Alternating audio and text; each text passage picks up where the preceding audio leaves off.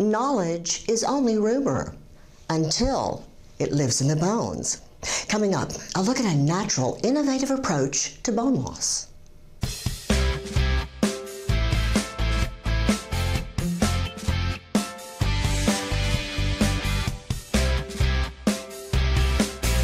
Hello, everyone. I'm Judy, and welcome to Sexy in Your 60s Beauty from the Inside Out. The word osteoporosis means porous bones.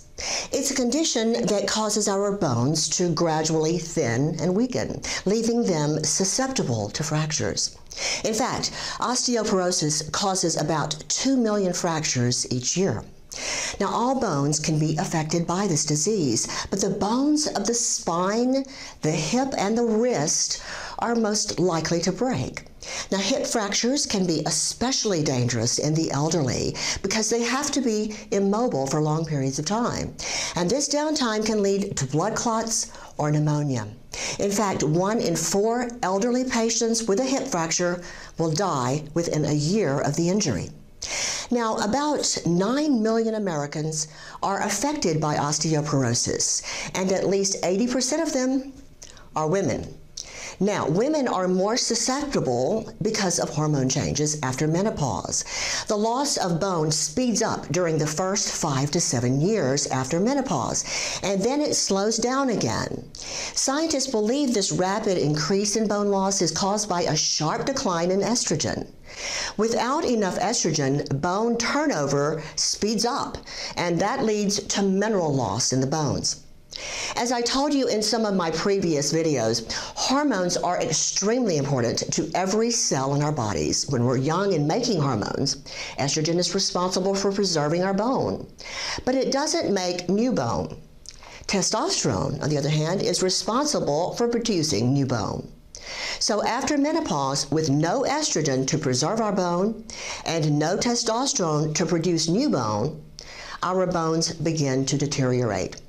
And that's why so many postmenopausal women begin to develop osteopenia or osteoporosis.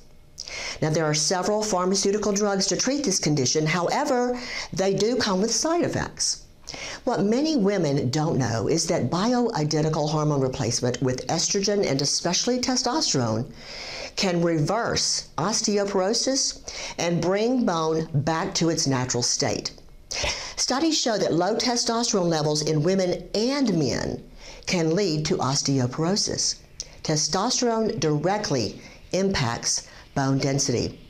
Now, estrogen therapy is the standard treatment for menopause but it doesn't address low testosterone levels. Ladies, you must also know your testosterone levels because if your testosterone is low, your estrogen will be low.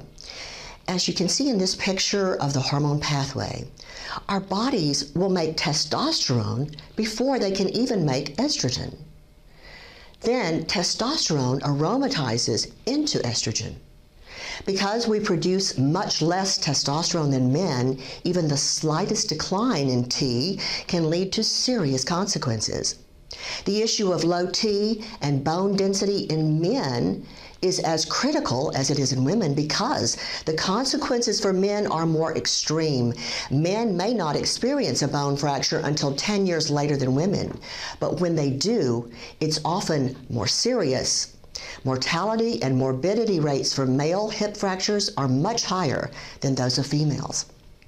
Now, certain women are at higher risk for developing osteoporosis. Women who are thin or have a small frame are at higher risk, as well as those who smoke, drink more than moderately, or live a sedentary lifestyle and don't exercise.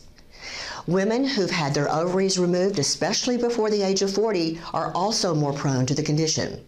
Studies show that natural testosterone therapy is a wonderful and safe treatment for men and women, and it can stop osteoporosis from progressing and actually reverse it.